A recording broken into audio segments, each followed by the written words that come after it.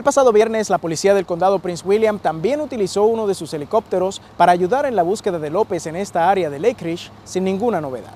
Y en este momento, eh, como ustedes pueden observar, tienen pancartas eh, con diversos mensajes, obviamente eh, repudiando lo que es la elección eh, de Donald Trump como presidente de Estados Unidos. Entre enero del 2014 y mayo del 2016 en el área de Virginia han ocurrido 29 accidentes con trenes en los cuales han estado envueltos personas caminando por las vías. Ya se acerca el Día de Acción de Gracias y si usted es de las personas que planifica viajar o recibir personas en su casa, es importante estar preparados. Ella le envió a Sergio a sacar la basura como de costumbre, pero al ver que él se tardaba más del tiempo que usualmente le toma a realizar esta tarea, comenzó a preocuparse. Velázquez estuvo compartiendo la noche de acción de gracias en casa de unas amistades cuando a eso de la una de la mañana él salió caminando por esta calle y se encontró con varias personas con las cuales tuvo una confrontación y al parecer las mismas les propinaron los disparos. Por suerte este parque está construido a una distancia prudente de donde se encuentra una escuela, pero si hubiese llegado a estar cercano a esos edificios, quizás la historia hubiera sido diferente. Evite colocar sus planes de viaje en las redes sociales, tanto en Facebook y Twitter. Mejor coloque sus fotos y videos una vez regrese de las mismas. De esta manera tendrá unas vacaciones placenteras y seguras. ¿Qué fue lo que ocurrió? Bueno, Zulema, eso de las 3 de la tarde de hoy, la aerolínea Southwest ordenó a que todos sus aviones permanecieran en tierra, esto luego de haber experimentado a través de toda la nación una serie de fallas técnicas en sus sistemas de computadoras. Ya la mayoría de las calles y las autopistas alrededor de la zona metropolitana han sido pretratadas en anticipación a esta alerta de tiempo invernal. De hecho, en este lugar donde nos encontramos, un centro de distribución de sal en Silver Spring, Maryland, hemos visto durante las pasadas horas bastante movimiento de camiones. Daniel Rivera se encuentra en vivo desde Washington y nos tiene los últimos detalles. Muy buenas noches, Daniel. ¿Continúan las protestas tan violentas? A esta hora, Cristina, buenas noches. Las protestas se han calmado en gran parte de la ciudad. Nosotros nos encontramos muy cerca de donde se está llevando uno de los bailes, eh, donde se encuentra el propio presidente Donald Trump. Buenas tardes y bienvenidos a Telenoticias Washington DC. Les saluda Daniel Rivera por Zulema Salazar.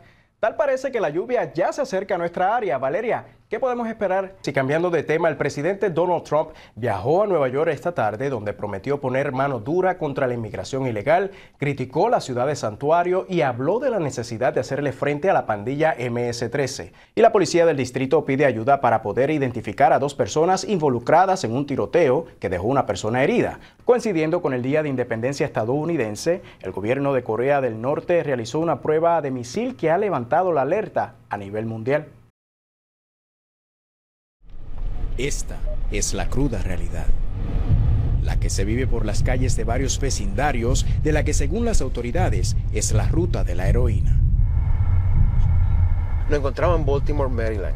Baltimore es una área donde históricamente es conocida por ventas altas al por mayor y al detal de la heroína. Esta es la primera vez que a un medio en español en la zona metropolitana se le concede viajar junto a la DEA para ver de primera mano lo que sucede en esta área, donde una gran cantidad de consumidores llegan para comprar esta droga. Por los pasados años, las autoridades se han referido en repetidas ocasiones a la heroína como la droga de mayor amenaza a nivel de Estados Unidos. Muchas de las transacciones ocurren en, en sitios abiertos, a plena luz del día, y no en cuartos eh, cerrados ni en sitios cerrados y lo hace peligroso porque eh, normalmente donde hay droga tiende a haber violencia. Informes de salud pública de Baltimore indican que el 10% de su población es adicta a la heroína. ¿Cuántos nuevos usuarios entonces se están registrando anualmente? Mira, en el 2007 se registraron aproximadamente 373 mil usuarios de heroína.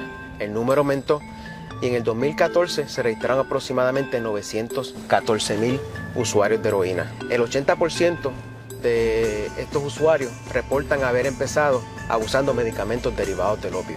Ella es mi hermana de 36 años, falleció ahora el 24 de mayo del 2017, al igual que mi prima María Vázquez y mi tía que murió el sábado 27 de las tres pacientes de cáncer metástasis. Y como María Elena Vega, son cientos de personas las que salieron a las calles durante la Caminata da Vida para agradecer el gesto para el Hospital Oncológico de Puerto Rico. Pero María tiene una encomienda muy especial. Obsequiarle un recuerdo de, de mi hermana este, para que pues, aunque no la pudo conocer en vida y tenía deseos de conocerlo, pero pues la lleve en su corazón y tengo un recuerdo de ella. De la misma forma, Teresita Díaz, quien decidió en esta ocasión obviar toda recomendación médica, salió a la calle junto a su familia para demostrar su aprecio a este esfuerzo. Creo que con darle las gracias es más que suficiente. Darle las gracias por mí, por todos los pacientes, por mi hijo, que es sobreviviente también. Ella es paciente de cáncer de seno desde febrero. Un poco difícil, pero con toda esta gente que ve a mi lado, lo voy a llevar, lo voy a levantar con, mucha fuerza, mucho valor, mucha fortaleza. Y sin importar lo que está viviendo, aún así transmite un mensaje de esperanza para todos los pacientes de cáncer. Que no se quiten, que no se quiten, que esto es solamente un propósito que el Señor tiene con nosotros, que el Señor nos bendice siempre y nos da su mano. Y día a día nos va a ayudar para levantarnos.